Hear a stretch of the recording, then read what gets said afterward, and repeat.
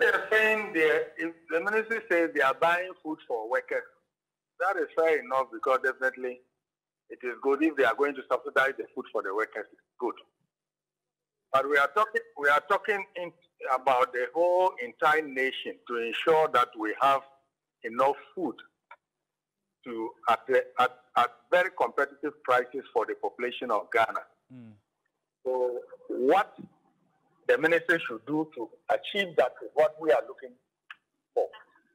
We are also looking at ensuring that the food should not be so expensive and that producers will be able to cover their costs. But that is where the issue is. We are currently saddled with high cost of fuel, especially diesel. So with college, you need to use diesel, and the price of diesel is very high. So though the food prices in the farm gates are a little bit lower, um, once you have to transport them, then the cost becomes higher when you deliver them to wherever you are sending them to.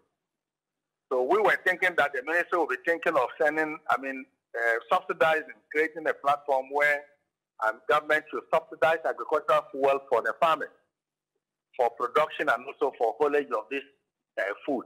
That automatically will reduce the cost of food in all across the country. Mm. We are also looking at immediately trying to use the dry season to grow more food because we need to have grow triple of what we are currently doing. Right. Because the, because of the inflation, the imports that are going to come will be so expensive. You can that affordability will become an issue. So we ourselves should be able to have more than enough.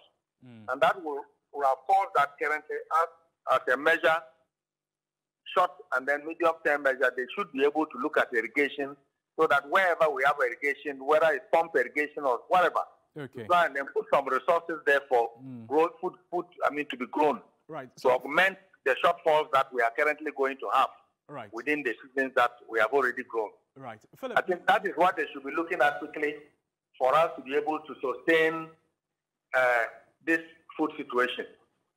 Philip, you are a farmer yourself. Usually when you go onto the markets, the conversation is that the food stuff, they are not expensive on the farms. But granted, we don't buy them on the farms. We buy them in the markets after they have traveled. So walk us through briefly, however. Anybody, anybody who tells you that, that is what is as usual.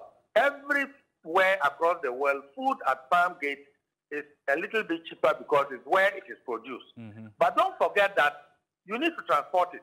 Somebody needs to do commerce. Somebody needs to go and buy that food. That person is a business person. He goes to collect a loan and he has to go and buy. He needs to contract a transporter to transport. Cost of doing this is high. And if that happens, what will happen is that that food that is cheap, before it will get to the consumer, it will be expensive. I'll give you an example.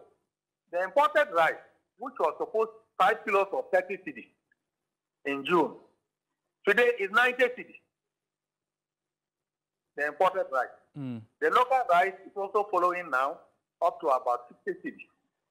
You understand? Right. So the situation is not just because it's a deliberate attempt by farmers or by anybody.